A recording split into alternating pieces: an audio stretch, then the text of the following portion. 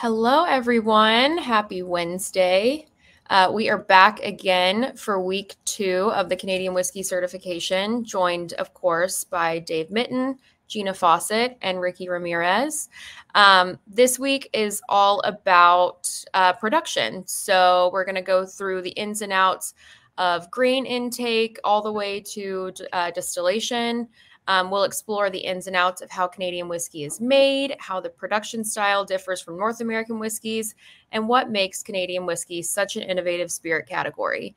Um, but you already knew that because that's the class description. So um, we'll get to that in a moment. In a moment, uh, but first, make sure that you like, subscribe to Portland Cocktail Week both on Facebook and on YouTube and Camp Runamok. Um, that's where more classes like these can be found.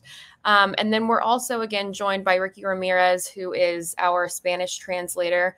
Um, so just like last year. Uh, if you are taking this class in Spanish, if that's your preferred language, Ricky is here to help. Um, so if you have any questions, uh, you can put those in the chat and Ricky will get them translated for you uh, by Dave and Gina. Um, and then also just any questions generally, drop them in the chat.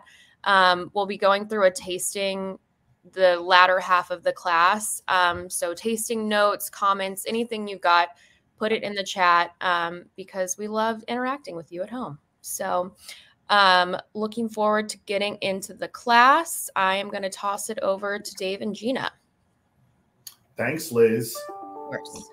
Hi, everyone. Welcome back. Um, I'm happy to be back. I know Gina is. I know Ricky is. It's good to be here. Um, kicking off from last week, history. I hope you took home a lot of information. I saw, I don't think I saw them all, but I saw a lot of posts on Instagram Facebook, and you guys were doing some incredible stuff. So we were kind of laughing in between of how well put together a lot of your posts are. It's very impressive, especially from a guy who like can hardly turn on a computer. Um, we're really excited. She's laughing because it's true. Um, we're really excited for today because this is one of those uh, things where this whole course was developed from this. So many misconceptions of Canadian whiskey, as I've said before, one of the world's most misunderstood spirit categories, perhaps just whiskey categories. Um, but we always hear so many funny things like Canada doesn't have rules, or you're allowed to do this, or you can't do that. And you know, at the end of today, I hope you'll all kind of roll your eyes at those comments too, because you're going to find out that is just not true. Um, we'll have a little more time today to talk, get into things, but I should hand it over to Gina. Professor Fawcett, you want to kick it off? All right, let's kick it off.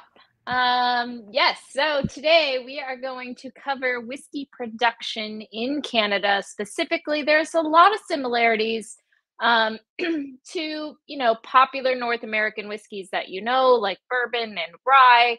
But there are some standout differences as well uh, that a lot of people don't know, and you will leave here today uh, with that knowledge. And for our 100 students, our certification students, tomorrow in our expert workshop session, we will have the uh, distillery manager from Hiram Walker, Amy Levesque, uh, she is amazing and she's going to take you on a much deeper dive than we are today. Today, we're going to cover uh, kind of broad category stuff. So let's go. Here we go. Uh, right here is a photograph, obviously, of the Hiram Walker Distillery. Part of it. It's as much as we could capture in this photo, that's for sure. But it is a massive uh, facility, a, a massive distillery. And the reason we're pointing this one out specifically, A, they make all the whiskeys that we're tasting in this course. Uh, B, you know, they are a massive distillery. Hiram Walker has the ability and the scope uh, to do many different styles. And so we are able to capture a lot of video footage and really take you inside the distillery and show you those processes that are happening in a lot of distilleries across Canada. Um, but because we have access to Hiram Walker with our brands, uh, we are able to show you that. So, just to give you a little more on what we'll be covering today, starting with grain intake and milling that grain into a flour, that's going to give us a grist. we're going to take that uh, to cook with some other ingredients, make ourselves a mash, go to the fermentation tanks and add some yeast. There we're going to come out as a beer, or our product will as a beer. uh, taking that beer into distillation, different styles of distillation. Now we're going to have a spirit. Remember, Canadian whiskey has to be aged a minimum of three years. So we do not have a white whiskey in Canada. We have a spirit. Uh, then going to maturation to make it to make a whiskey, and then we might blend blend it. You know, uh, the Hiram Walker Distillery, again, to show you scope, is one of the largest distilleries in North America. And we have a video here just to show you some stats and the scope of the distillery. So here we go.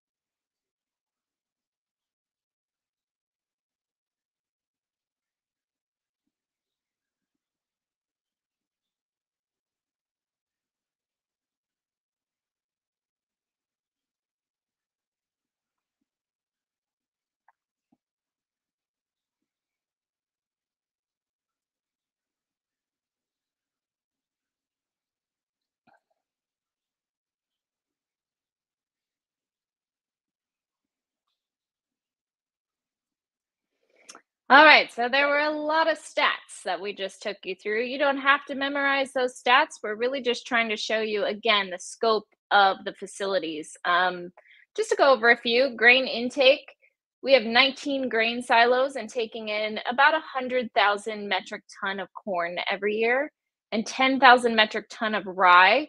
We are using a hammer mill to grind that grist down into, or that grain, I should say, down into a grist, which is like a coarse like flour. And you'll see that in a little while. When we get to fermentation, and you'll see uh, some video of this, this is a massive room. Uh, there's 39 fermentation tanks that stand four stories high. We can never get them all in one shot uh, because the room is so big, but you'll see what we're talking about in a little bit. And then styles of distillation that we're going to go over today. Uh, single column distillation, much like most of your bourbons or ryes are going to be made. Uh, double column distillation, a column still into a pot distillation, Uh, and we're distilling at Hiram Walker about 180,000 liters every day. To maturation, we are aging uh, 1.6 million barrels, and that is also every day. So we're, you know, putting on a truck about 11 to 1300 barrels, taking them to be dumped, and we are filling about 1100 to 1300 barrels every day and taking them back to the warehouse to age. So at all times, really, there are 1.6 million barrels aging. Okay, so let's talk about our ingredients, the beginning of the process here. Remember from category regulations, we make whiskey from corn, wheat, rye, barley, cereal grains, right? Any cereal grain. Now, this big take home about Canadian whiskey production is that each grain is going to be produced separately. 100% corn is going to be milled, cooked, fermented, distilled, and aged and then we have a 100% corn whiskey aging in the warehouse. Same for wheat, rye, barley, you name it. So we've got all these different 100% grain builds aging in our warehouse. And then it's our master blender's job to create the recipe of how those grains go together to create a flavor profile. So, what are those grains giving us? When we look at corn, we're really getting those sweet, creamy notes. Wheat is going to give us more toasty, bready notes. Uh, rye is going to give us those big, bold spice notes, uh, baking spice, pepper. And then barley is going to give us a little bit of a nutty character. The grains at Hiram Walker, for the most part, are sourced locally. Local Ontario farmers is where we're getting our grain from. And, you know, that is great to say and put it all over our marketing materials. Um, but it's really not for marketing. It just, that's great to source locally.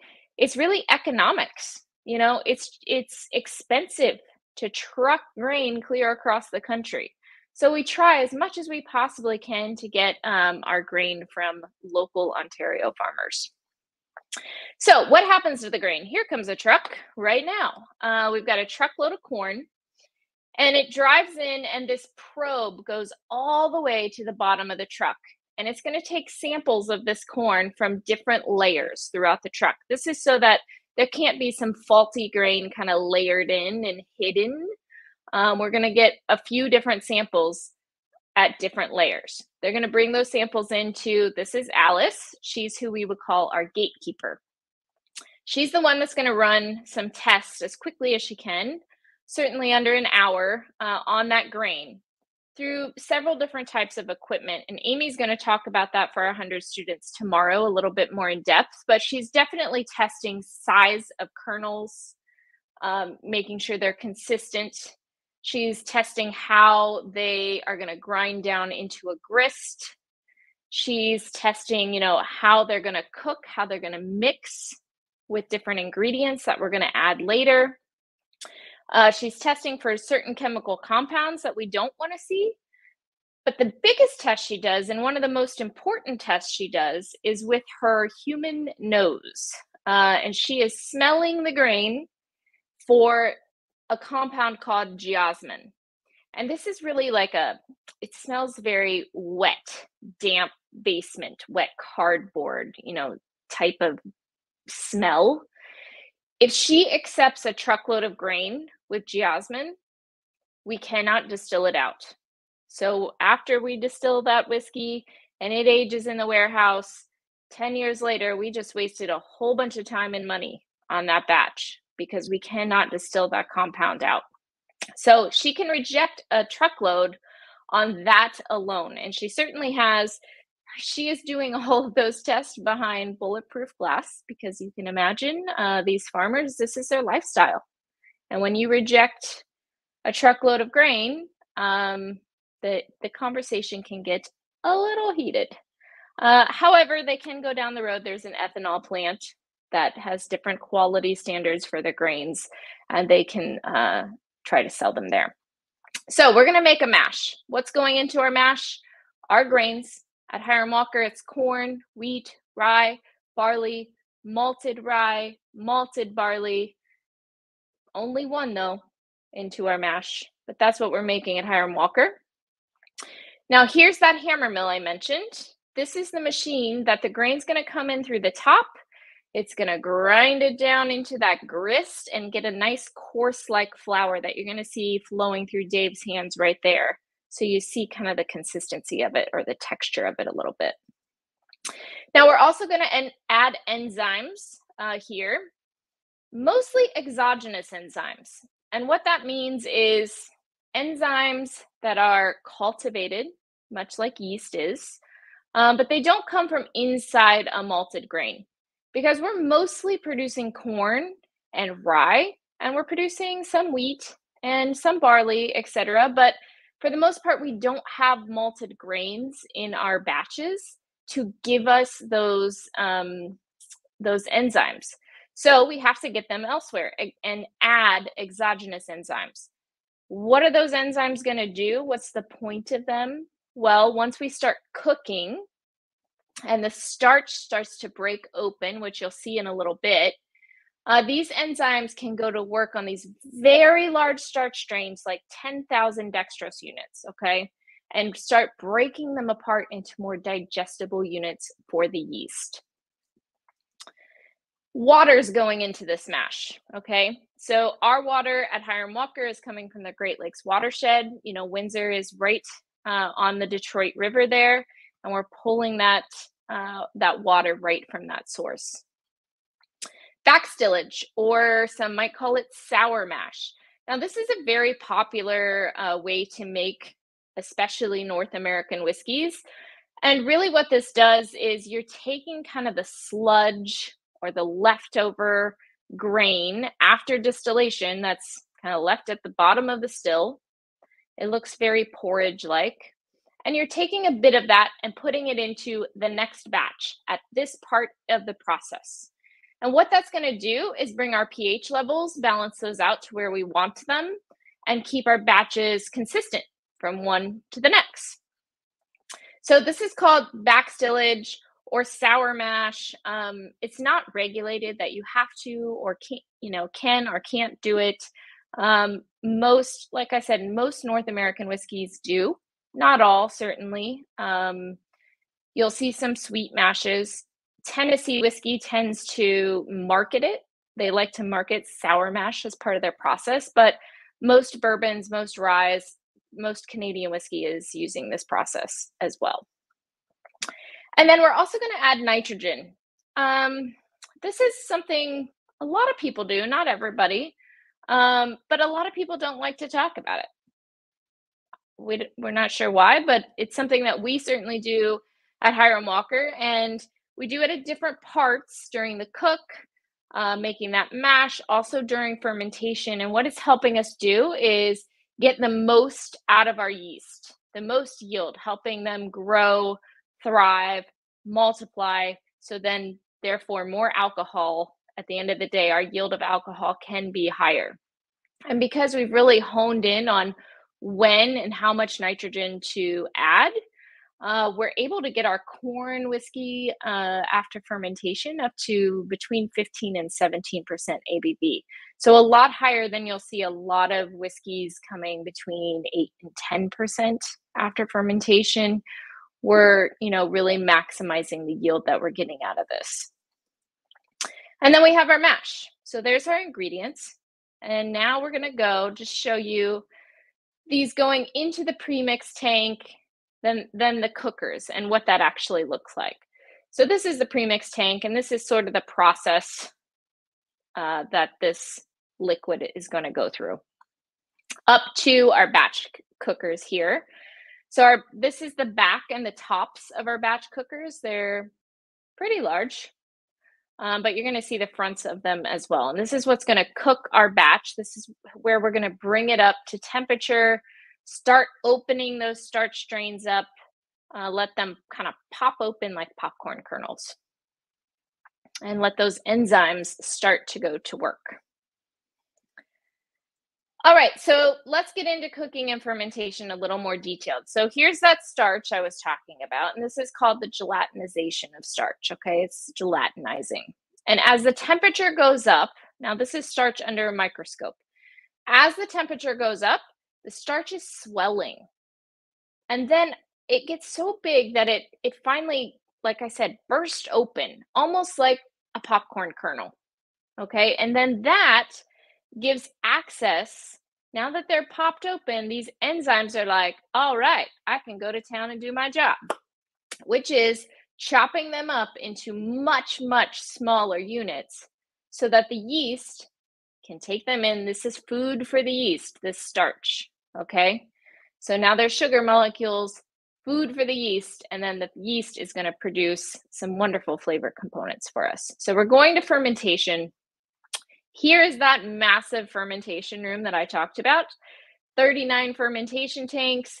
These are the tops of them. Um, You'll see the bottoms of them as well right there, kind of looking up, but they are four stories high. And here's where uh, the yeast is going to be added. So all that, you know, mash flows into these fermenters. And he's going to open one of these up right now and add a powdered yeast, a dry powdered yeast. Once he does that, the yeast is going to start start to go to work, multiplying, eating the, the sugar, multiplying, growing, and extracting, letting go of.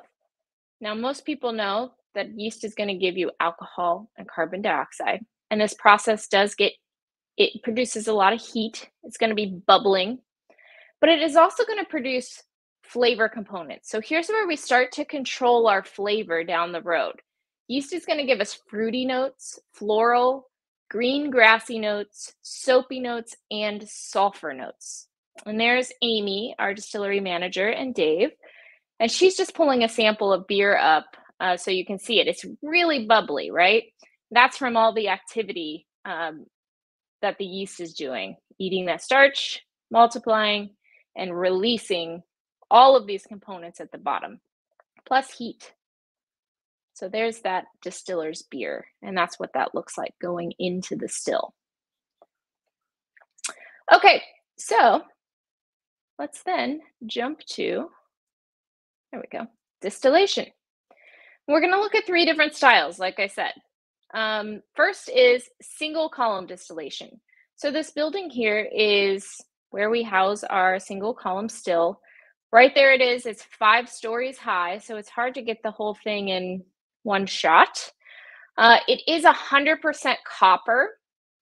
It kind of looks like it's it's steel on the outside, um, but actually it's just wrapped in insulation. Okay, so pe- it just prevents danger, people getting burned because these stills get very very hot. But you see all those doors, those circular doors. On each of those doors sits a copper plate. Okay, and on those plates or in those plates are, are little holes and you'll see this in a minute. Um, but but the beer is going to go in up toward the top and the steam is going to come up from the bottom. So at each plate as the steam rises up and the beer flows down there's kind of a mini distillation happening and so there's different temperatures at each plate and you're you're developing different flavor compounds and when we recorded this, uh, Dave was at the distillery, and luckily for us, they were cleaning out the still. So Amy's opening this up here for us so you can see inside, which is rare because you, the distillery has to be shut down uh, when this happens. But now you can see, see that plate with all those little holes? So that beer is just going to seep down through those holes while the steam makes its way up and through each layer is kind of, like I said, a mini distillation, developing different flavor compounds along the way. Now, copper, I mentioned copper, and this still is 100% copper. Copper plays a very important role in distillation. And not all stills are the same. Not all stills are 100% copper. But what it does is remove those sulfur notes that the yeast produced. So I don't know about you, but I don't really want to taste sulfur when I go to have a sip of whiskey. And not many people do. And so that is the job of copper. It's going to absorb uh, the sulfur notes turn them into copper sulfate, which is that, you know, if you ever see like a copper roof over time, it kind of turns like a light blue or turquoisey color. That's copper sulfate. Okay. Uh, and so this still needs to be cleaned out once in a while. A couple times a year for us, uh, we'll shut down and clean that out. But this is what those plates look like on the inside. And so at the end of the day, after a single column distillation, you're going to end up with a full bodied whiskey, retaining most of your grain character. So if it's corn, you're going to retain most of those sweet, creamy notes. You know, rye, you're going to retain most of that spicy, big, bold, maybe some floral notes in there. Retaining most of your yeast character. So nice, big, bold flavor here fruity, floral, green, grassy, soapy notes. And but not sulfur, hopefully, because we had 100% copper. So we're really removing a lot of sulfur notes here. And we're bringing this up to about 70% ABV at the end of this distillation. Now we're going to look at double column distillation. So first we go through that still we just looked at. And now we're going to take that liquid, condense the vapors down into another liquid, and take it over to another column still. So this is our second column distillation. You see that still, we actually can get a full scope of it. Again, it's five stories high. It's a little bigger in diameter uh, than the first still. And what double column distillation is going to do is, you know, we kept all those big grain notes and yeast character in that first distillation. Now we're going to distill it again. The more you distill something, the more you're going to strip it out. So you're going to make a lighter, very light, soft style of whiskey. And this is what a lot of Canadian whiskey is known for that light, soft style. Double column distillation. There's uh, Dr. Don Livermore, our master blender. He's pulling a sample off that still. But what you're going to end up with after double column distillation is a light base whiskey. Sometimes we bottle them up um, by itself. Takes a little more aging, but um, you know, just to show off some aging and give it some more flavor components because we've stripped those all out. But we also use it for our base whiskey and our blends. We're going to strip out that grain character, strip out that yeast character, and we're going from 70% ABV now to 94, 95% ABV. So a very higher, high ABV um, on that double column distillation. And finally, we're going to look at column and then pot distillation. Now, this still is actually a little combo still that we use uh, for experiments and, and trials, but this is our pot still. This is the lot 40 still. We also pot still uh, wheat and barley through here. Again, it's 100% copper. Um, it is insulated on the outside, and it's not a huge still. It's a 12,000 uh, liter still. We're doing 8,000 liter batches very, very slowly in that still. Now, Dr. Don's going to open this. Uh, this is a gin still, an old gin still, actually. But he's going to open it up to show you the inside of this. So, a pot still acts a lot like a pot of soup on the stove. And in the bottom of the still are these coils that you just saw. And that's what's going to heat up the liquid. And then the vapors, once it, they get boiling, start to, you know, the liquid starts to vaporize off and different compounds are going to come off at different temperatures.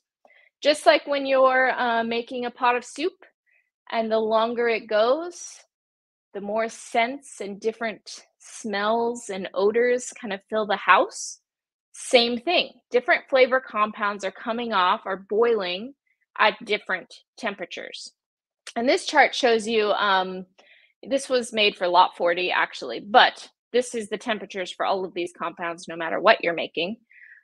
So when we do a very slow distillation, um, for Lot 40, we're doing a 12 hour distillation. And when you kind of compare that to um, other pot distillations like single malt scotch, right?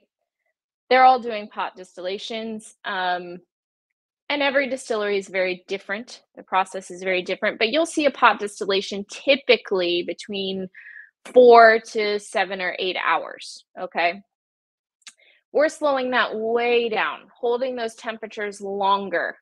And the reason for this is because as the vapors come off, I've got, you know, one vapor coming off and then the next starting and then this one dissipates, but it's not like a clear line. This one stops and this one starts. You know, there's a little bit of something trailing off while something else is beginning. So the slower we can do that and the, the more that we can hold those temperatures, the more accurate we can make cut points. And so we like to make our cut points at Hiram Walker on this pot distillation because we can really hone in and concentrate up very specific flavors. Keep what we want, discard the rest, redistill it, use it in something else, um, but really concentrate the flavor components that we want in the whiskey. And here we're going from that 70% ABV in this um, the column still now up to 80% ABV. Okay, and finally, just a big take home before we get into our tastings is now I mentioned this last week. I do like to compare because this is where a lot of our misconceptions come.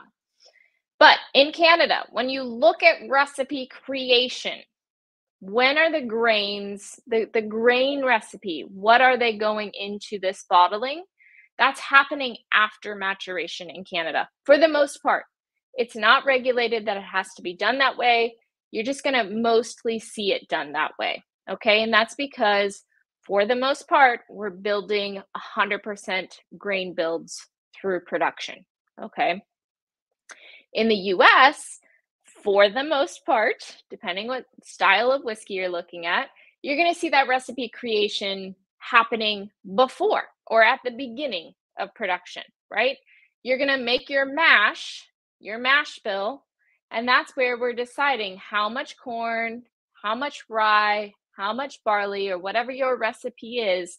You're making that mash bill up front, and then you're putting that entire mash bill through the production process and coming out with one whiskey with, with different grains in it.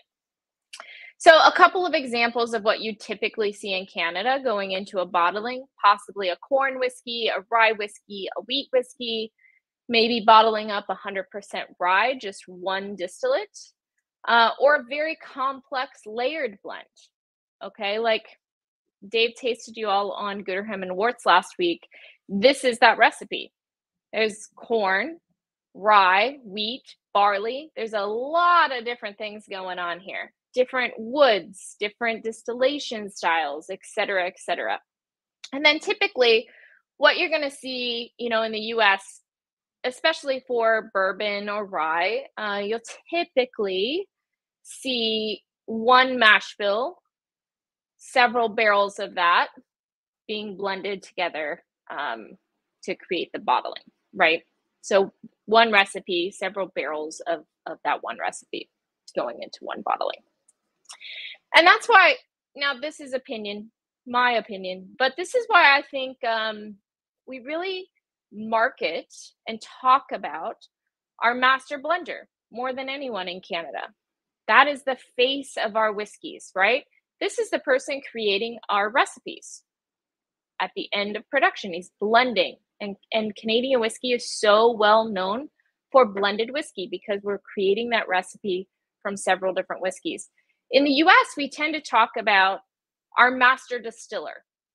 That's the person making the recipe toward the beginning of the, the process, right?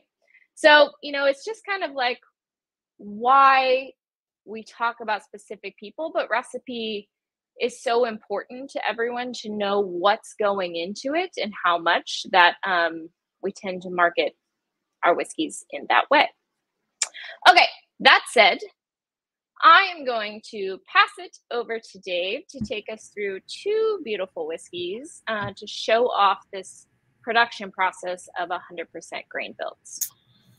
Thank you, Gina. But before we do this, I think what, well, I'm going to, if I may, I'm going to suggest while I talk about these two whiskeys, you might want to look at all the brilliant questions, and there are many of them that came through. okay.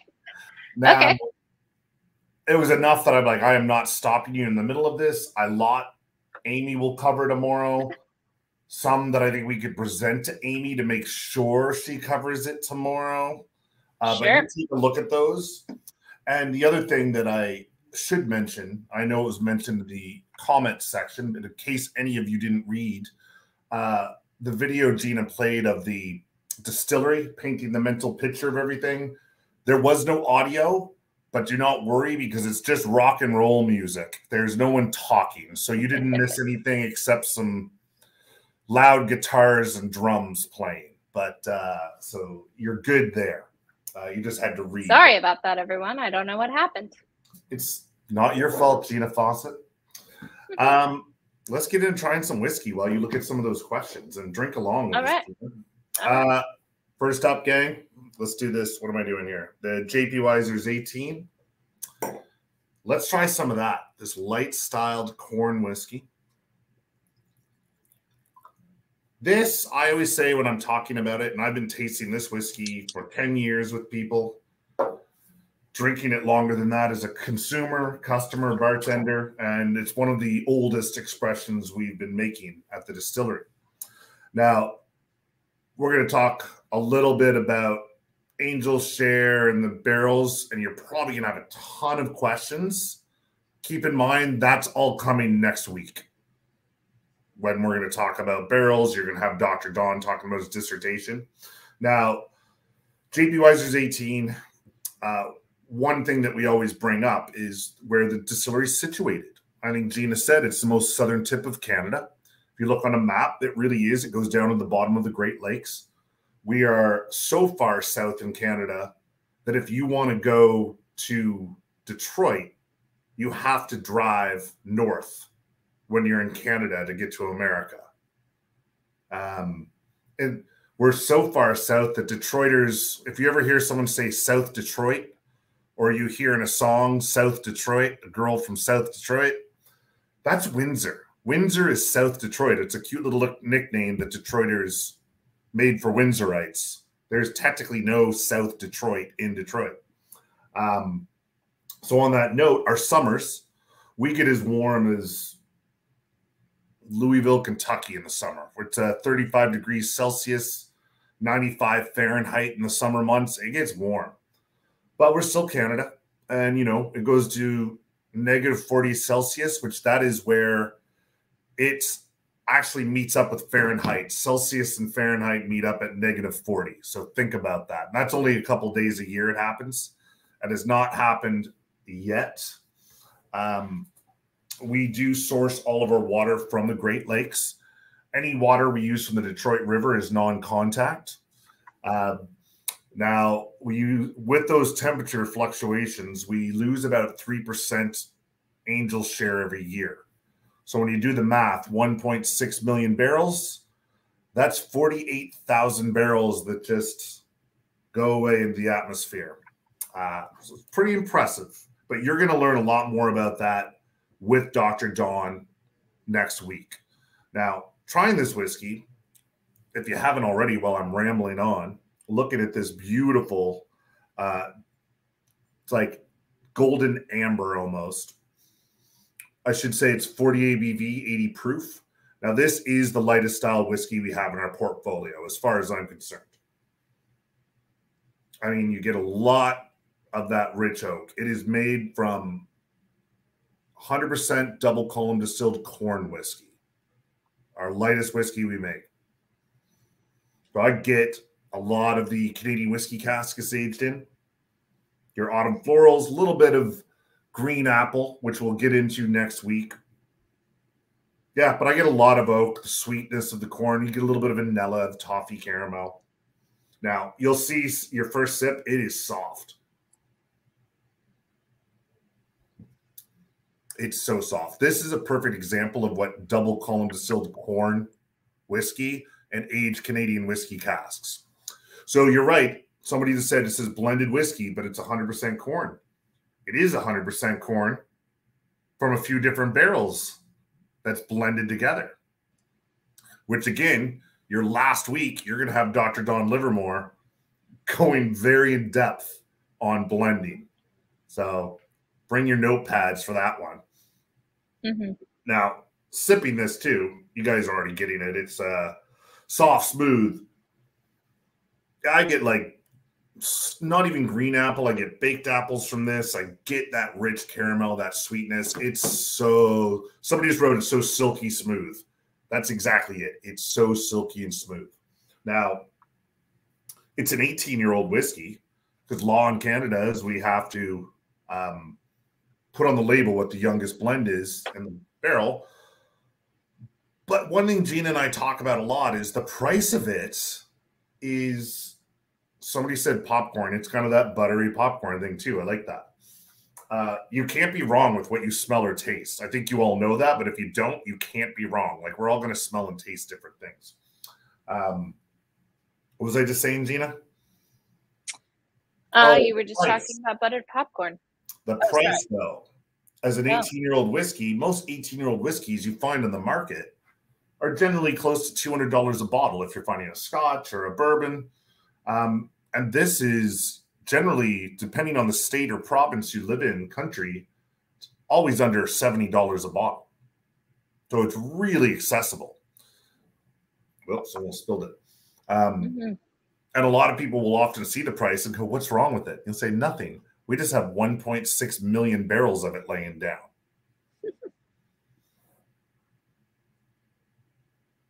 There's, and just to yeah touch on that blending. I was just going to touch on that blending comment uh, as well. You know it's not regulated. We went over regulations last week. It's not regulated to label it blended whiskey you know when it's a hundred percent of something. And you're going to see that the Lot 40 label does not say blended whiskey. Um, but this one does. It's really a choice of, of marketing and and the messaging that you're trying to reach with that consumer. And and JP Wiser's as a brand is known for its blended whiskey and they are blending barrels of corn whiskey like Dave said so. And someone just asked 70 Canadian dollars? I mean basically depending where you are it's under 70 in the US it's under 70 in Canada. So it just equals out. If you're over in the UK it's about the same price. Um, I don't give an exact date or a price because state to state it varies a few dollars. Um, but yeah, this one, uh, you all remember last week when we had the bartenders, Evelyn, who had just written the book and did the Nutty Professor. She used to work for me at one of my spots years ago. And I always use uh, this as an example. She texted me one night and said, There's two guys at the bar and they're drinking all the JP Wiser's 18 year old. And I kind of text back. I'm like, great. Like, what's the problem? And she goes, they're mixing it with Coke. And I was like, are they paying for it? She goes, yeah. I'm like, I don't care then. Uh, they can mix it with milk if they want. Like, whatever blows their hair back. But point being, I think this is one that we suggest drinking on its own or over ice. But where it's so inexpensive, people do usually buy this whiskey and sometimes they'll mix it with ginger ale or soda which I think is a waste, but it's pretty uh pretty accessible. Mm-hmm. Corn, uh, between these two whiskeys, I'm gonna hit uh, a couple of these questions between the whiskeys while okay. you're sipping. Uh, it was asked about you know using column continuous column stills, um, but are any major producers producing light and flavoring whiskeys with pot stills. Um, you know, honestly, when you do a pot distillation, first of all, for us, we're doing a much smaller batch, but you would have to distill it over and over and over and over and over to get up to the ABV that you want and to really strip out um, the congeners. And you would Amy's going to get into tomorrow the lyne arm on the still where the vapors are coming out and which angle it's pointing and what that's going to do for your whiskey and the flavors. But the lighter style you want coming out of a pot still, you would angle that pipe, that lyne arm up so that some of it condenses on the piping or that lyne arm and falls back into the still and redistills until it finally comes out. Um, our lyne arm points down because we want a big, bold, heavy flavor. And so when that vapor is coming up in there, it's gonna, if it condenses, it's gonna trickle down, not go back into the still.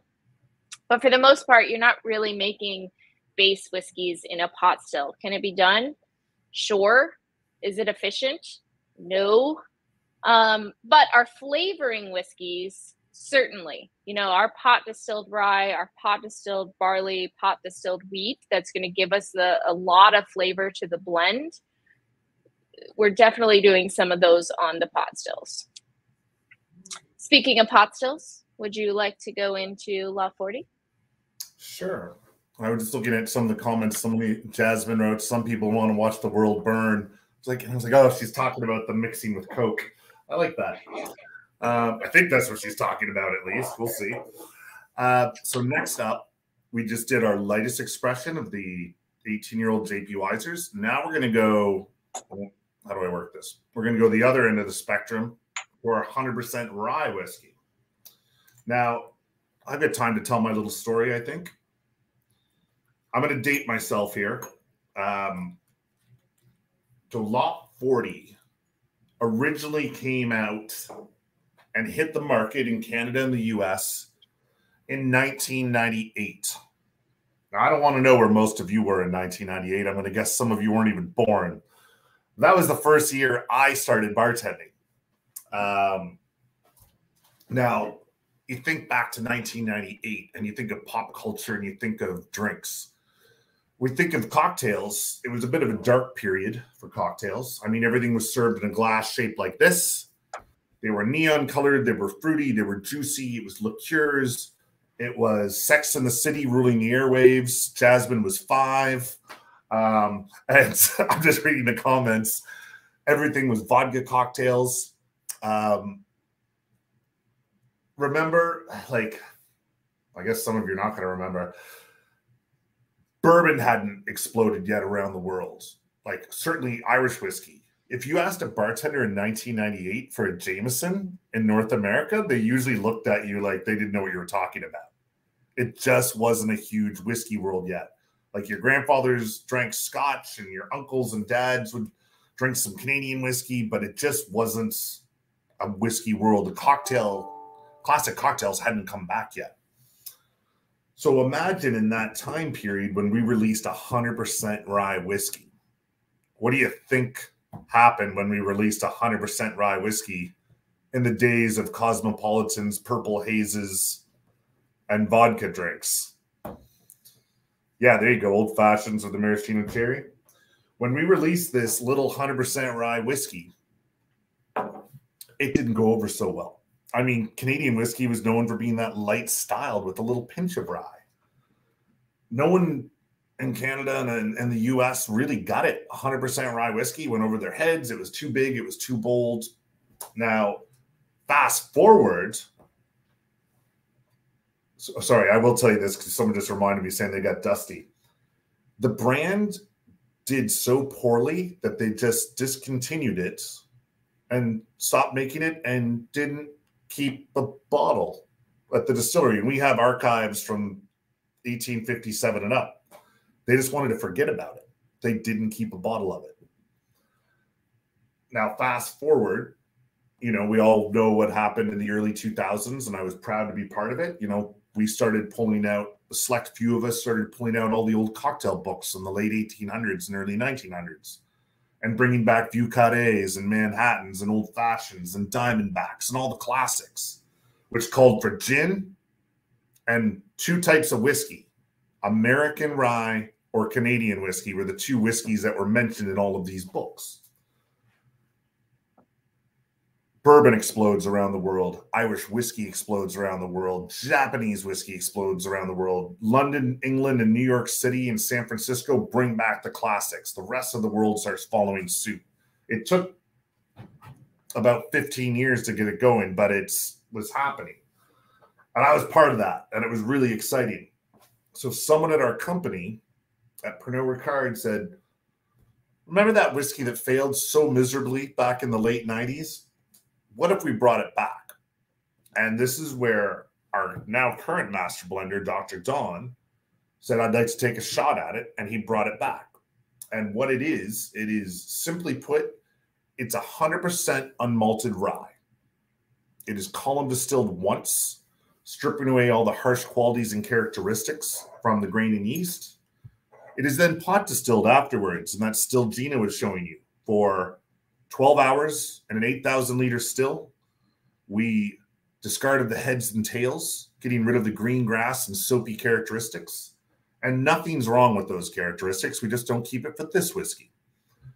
So we're left with the hearts, which are all your citrus, floral, rye bread, uh, baking spices. Rye is a big grain. Pot distillation really rounds it out. We then put it into brand new American oak, level two char. And that new American oak brings on the warming vanilla, sweet toffee, and caramel. And we bottled it at 43 ABV or 86 proof. And the year we released it and the year after, it won Canadian Whiskey of the Year. So it was a matter of just over a decade watching palates change and younger generations liking more complex whiskeys to where this has become a cult classic now. Uh, when I started this job, imagine 10 years ago, and I went into the US and focused on cocktail bars saying, I have a Canadian whiskey. A lot of people tried to slam the door on me. And uh, luckily, I had enough friends from working down there a lot that they let me in, and everyone really couldn't get over that this was a Canadian whiskey. I mean, I don't know if you've had it before. You might be drinking it now as I'm talking, but take a look at it. I mean, this is a really deep, deep amber color. Mm-hmm. 86 proof, as I said, 43 ABV. I mean, right away, you get the sour rye. A little bit of like pear. Somebody said red apple the other day.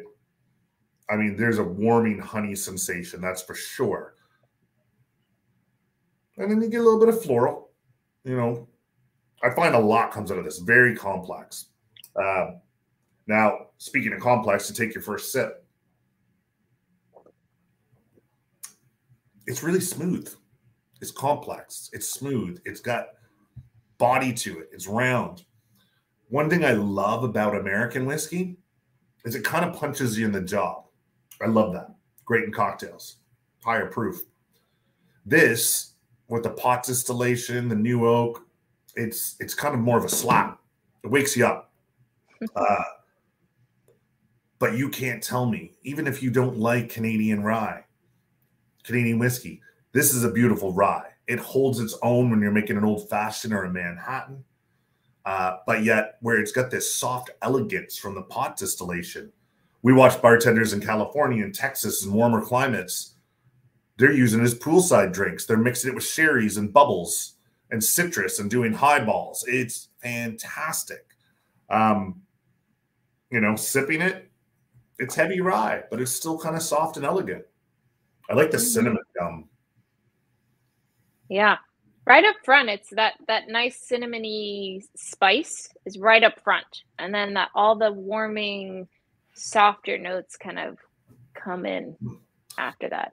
And someone's asking, yes, there is a um they're asking about the cask strength. We did originally we put out a 12 year old cask strength, with an 11 year old. We've done different uh, ages. We've got this one that was just released on a small scale. It's a port finish, so it's a Lot 40 cask strength at 53.1 ABV, but finished in port cask. Beautiful. It was a very small run.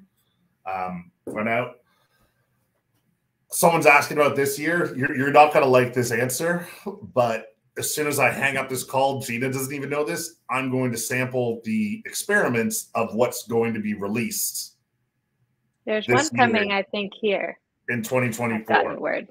Mm-hmm. There is one coming to Canada and the US.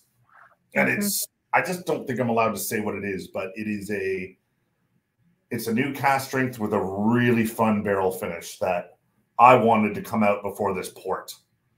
So you will be seeing a new Lot 40 cask strength this year. Um, how are we doing on time? Let me hit a couple of these. We got a few minutes, so let me let me hit a couple of these questions. Um, a couple I'm going to leave for Amy because I know she's going to go into depth tomorrow, but a few of these we can just hit right now. Um, one is about full loads of grain being turned away. Does that ever happen? Uh, yes. That is, like I said, uh, that is why Alice is behind bulletproof glass with a locked door. Um, because yes, full truckloads. If if the sample doesn't pass, the whole truckload doesn't pass.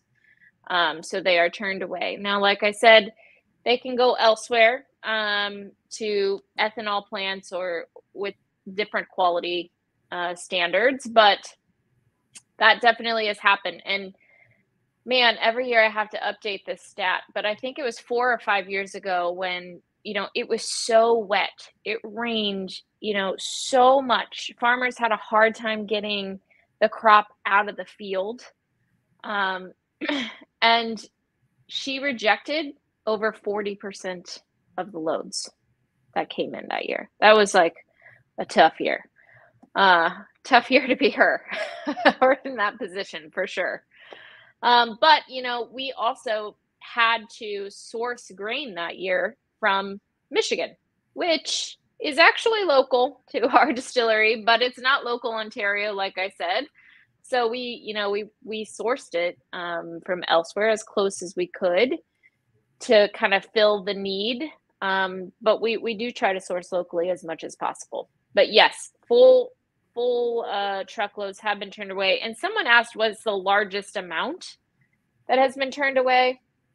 I do not know the answer to that, but we can certainly ask Amy tomorrow. She might know that. She she manages that um, part of the process, so she might she might know that off the top of her head. She might have to go look it up. I don't know, but I don't know the answer to that specifically. Uh, someone asked for clarification on the sour mash process. So, you know, it is just using, it's as simple as using the leftovers from the previous batch. It goes all the way through distillation. And like I said, we're taking those vapors off, right? What the, the liquid comes to a boil, vapors come off. That's going into a condenser to turn it back into a liquid. But what didn't come out of that was the grain, the sludge. Um, and that is that is part of that sour mash process. We're also using that as uh, and Amy's going to talk in depth about this tomorrow, but dried distiller's grain and wet distiller's grain, which is animal feed. There's lots of nutrients uh, in those leftover grains or those spent grains. And so that is, you know, we are trying not to waste at any part of this process so that's being actually sold back to the market uh, as animal feed. So that is the sour mash process. So it is actually as simple as that. Someone asked about the yeast and if it we use a proprietary yeast. We do not right now. We use a commercial yeast for our whiskeys. However, they are experimenting. Uh, they are working with some proprietary yeast. Um, for things to come down the road. And I know Don's going to get into that a little bit. He's got some of the old original yeast strains um, from Hiram Walker that he he has been taking care of um, for years. So he's going to get into that a little bit as well. Uh, as far as the water source, it is important, um, but Amy's going to get in depth on that tomorrow and the process of um, filtering the water and what what it needs to be the standards that the, the water needs to come to. So you know it, it doesn't matter if you get it from the great lakes or you get it from you know this beautiful stream i don't know in colorado or whatever. Uh, it does matter if you if it can be filtered to what it needs to be to make whiskey so that it's not bringing components or things that will taint the whiskey uh, flavoring components or whatnot with it that you can strip any of those out. That's really important. That's why in kentucky talks about limestone all the time because it's a natural filtration system. Uh, so that's that that does a lot of the work for them purifying that water. Uh, we are down to one minute so i think i'm going to leave it there. We will answer more questions tomorrow for our students. Um, and Amy has a lot to share. So uh, until then, everyone else, we will see you next week. I'm going to pass this back to Liz. Amazing. Yeah, we have so, so, so many questions. Um, but like Gina said, um, Amy is going to get to those tomorrow for our students. So thank you all for joining us today. Thank you, Dave, Gina, and Ricky. Um, students, we will see you tomorrow at 3 in our Zoom classroom. Um, and then students and anyone else that joined us, uh, we will see you back here tomorrow or next week um, at 3 p.m. same time, talking more Canadian whiskey. So thank you all for joining us. Thank you all for teaching. Um, and we will see you tomorrow, students. All right. Bye, Bye everybody.